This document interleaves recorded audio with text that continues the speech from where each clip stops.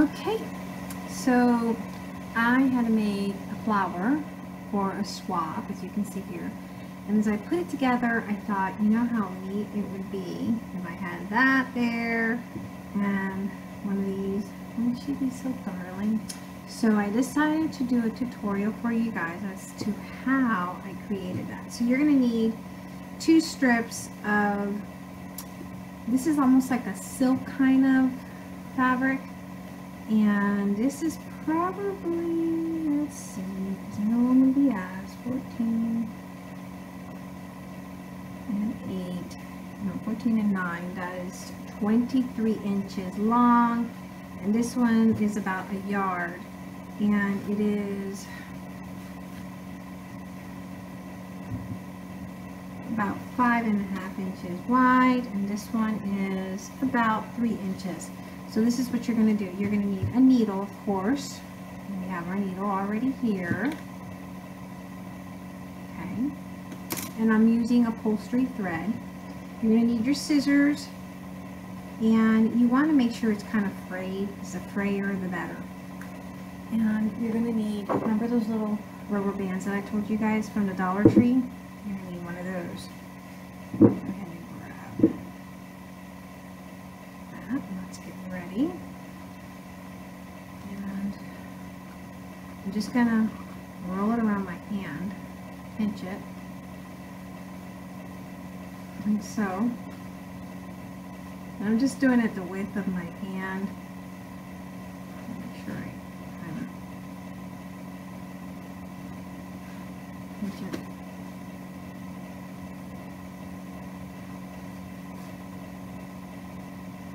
That's on backwards. It's supposed to be this side of the fabric. It's the wrong side of the fabric, so let's roll it. And it's probably about, I don't know, three and a half inches width. Just roll it and roll it and roll it.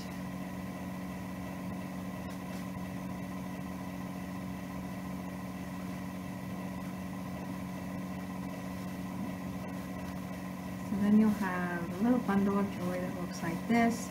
And then you're just going to shape. Remember these little snippets? Don't throw it away. You're going to need it for building other little flowers. That's it there. And it doesn't have to be perfect because the shabbier, the better. You, if you understand what I'm trying to say.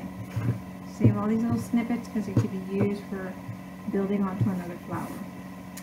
Then you're going to take a little rubber band in the center.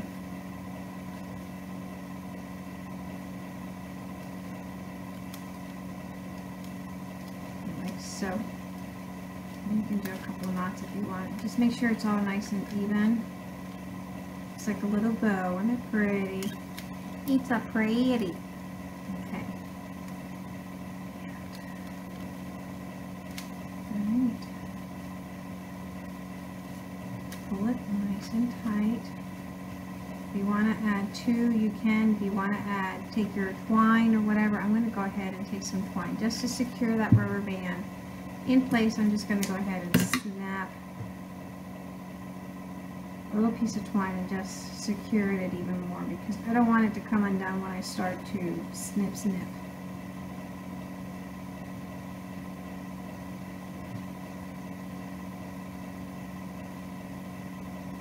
Alright, then you're going to cut in between there.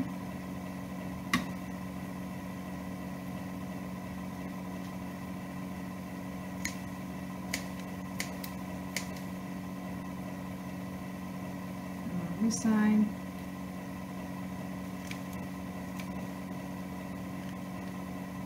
My scissors should help me.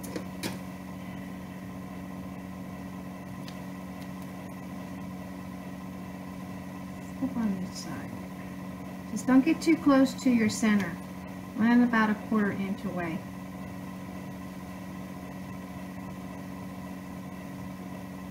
Snip on the other side. And snip over here.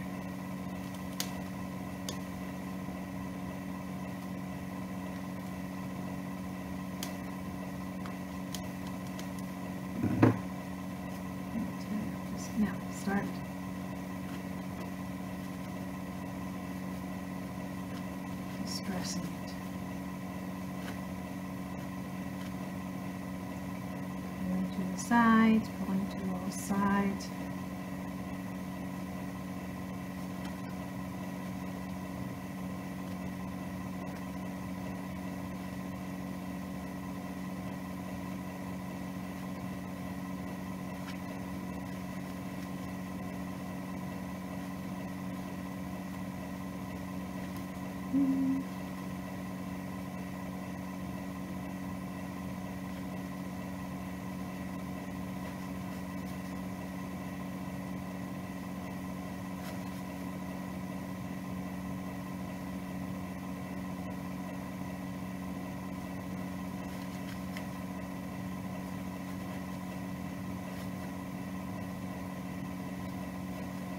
Nice, beautiful little petal flower, um, little rose bundle.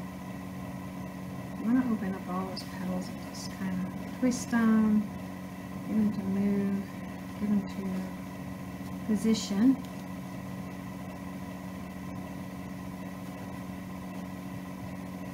Pretty just like that, I think. 'Cause It looks like really big, nice, rosy flower petals. See?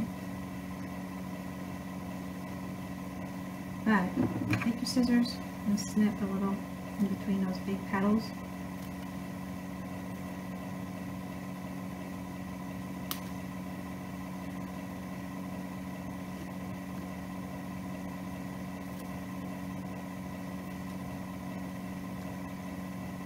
Get more body.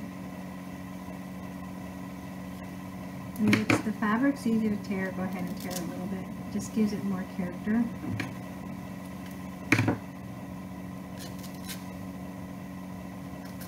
And more frame. And you want that look. That's the look that you want. A frame, tattered, crazy flower. Okay.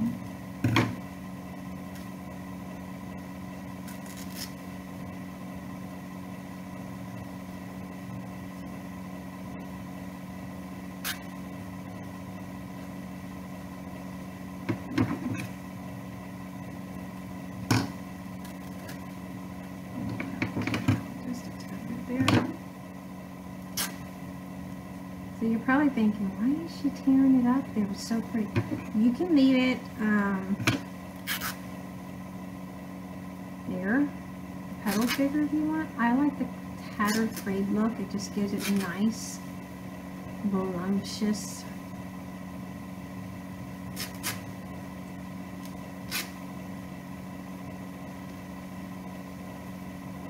nice look. Nice tattered, really nice tattered look. And this silk makes it just so much prettier. I think. It almost makes me want to hoard it, but I know I can't always hoard things. So, right.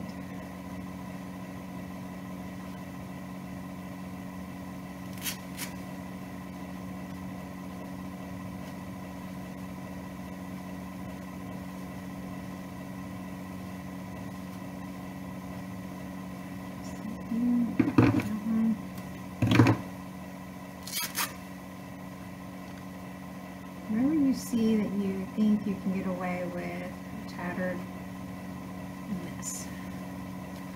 All nice and straight. So you can probably get away with snipping that one just a tad bit more.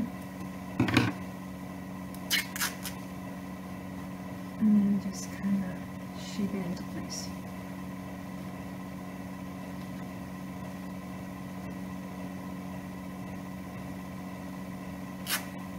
Cut this first.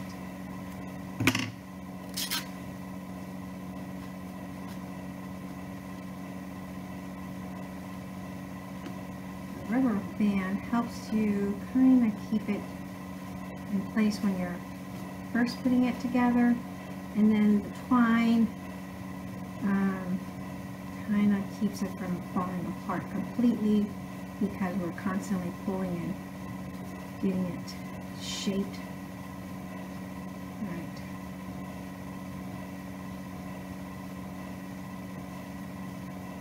So let's see, where's it? You always make sure you're right in the middle.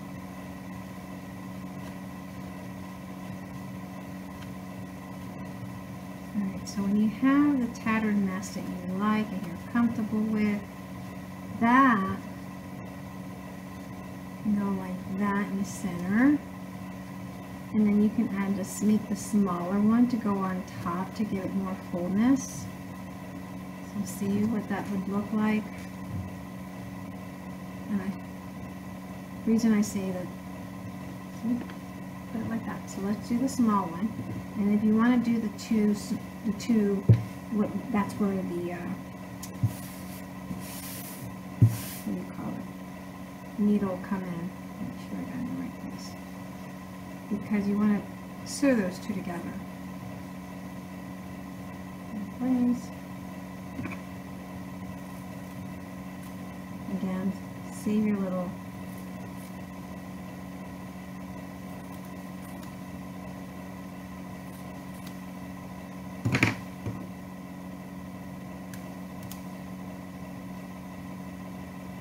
You could probably, I know, I'd rather do it this way. We got two rubber bands.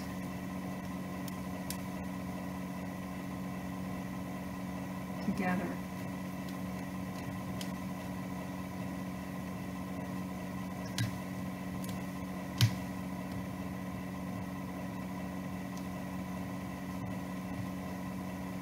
Put it in the center.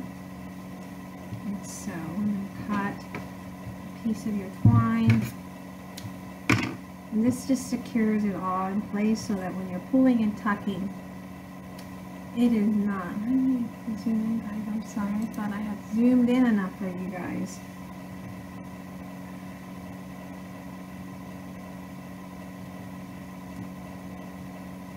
Okay. So then, go into your sides and snip it just a little bit, not too close to that time mechanism, just enough for you to be able to pull and tuck and shape.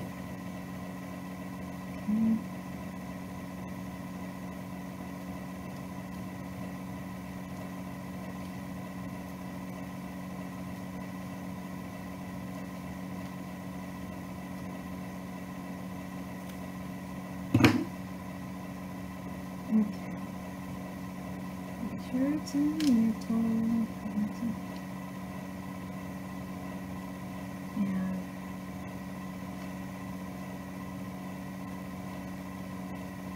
your petals every direction that you want. Um, you can leave, like I said, you can leave your petals big like this if you want. I just like the more tattered look. And this little silk fabric just made it a lot easier for the pattern. This stress-free look. looks like a little carnation actually.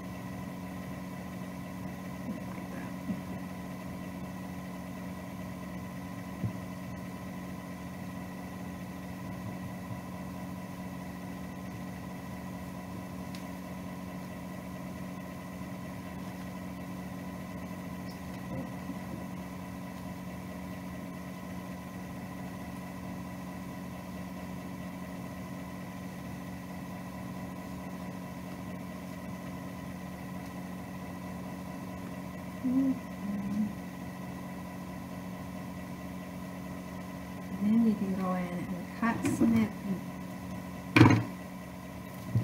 and this is how I cut the fabric as well.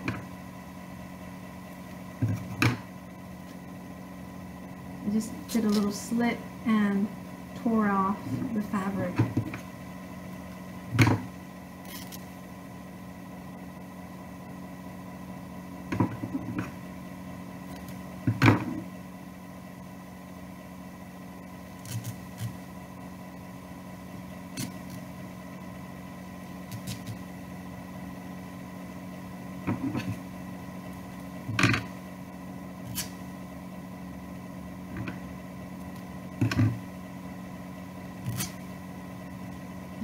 Makes it such a pretty distressed flower that is absolutely gorgeous. And for those of you guys asking me for shabby chic, I hope you like this one because this is for you.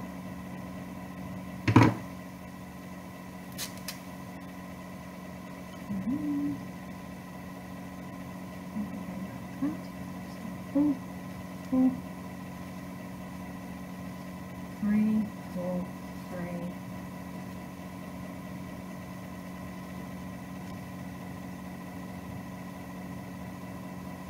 Okay.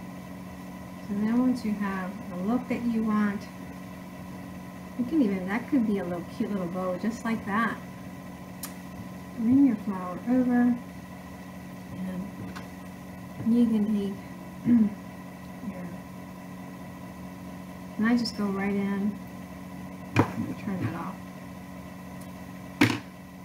to where I grab a little bit of that fabric. And that's just to put them together. You can glue this. You don't have to, you know, sew this part here. This is this is a personal preference of mine, so you don't have to definitely do this part. You can sew it, or you can glue it. Sorry.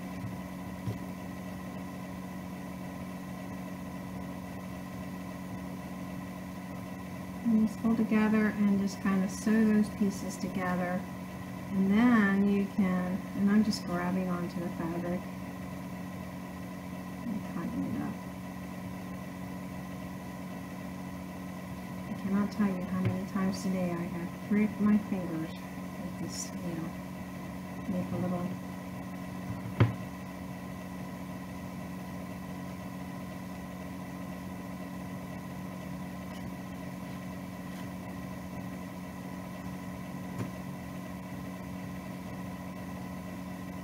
Ooh, prick again. Mm. Turn off. Straighten out your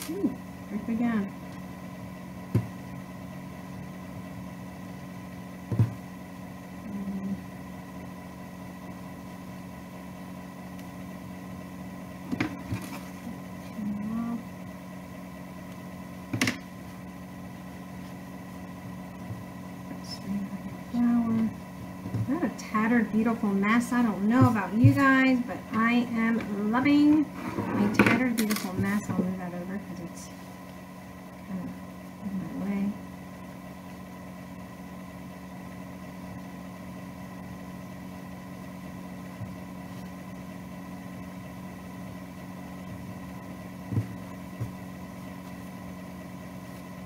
Bring your pumpkin over. And then you can glue it.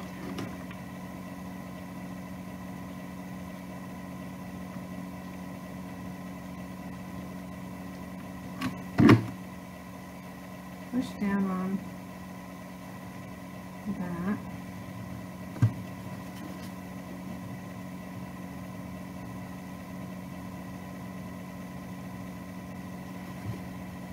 Grab one of your